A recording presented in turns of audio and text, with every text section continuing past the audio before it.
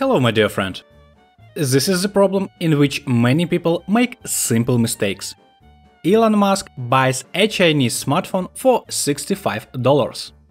He sells the smartphone for $75.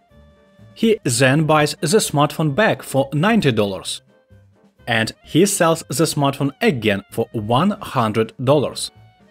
Find out how much money Elon Musk made or lost. Or did he break even? I'll give you 40 seconds to find the correct answer.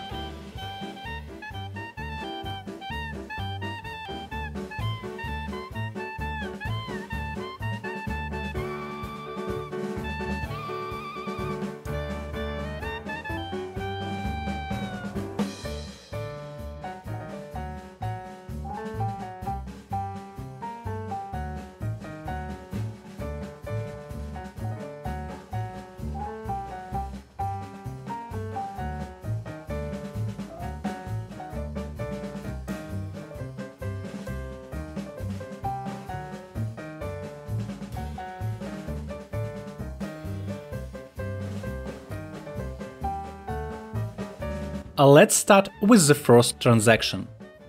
He buys a Chinese smartphone for $65.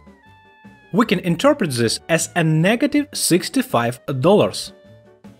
He sells the smartphone for $75, so he then gets plus 75, which results in a profit of $10. He then buys the smartphone back for $90. So it means he needs to spend $90, which is a negative 90. So the net position is minus $80. Finally, he sells the smartphone for $100, which means he gets 100. The negative 80 plus 100 is equal to $20 profit. Thank you, Mr. Musk. Selling Chinese smartphones can be a lucrative venture.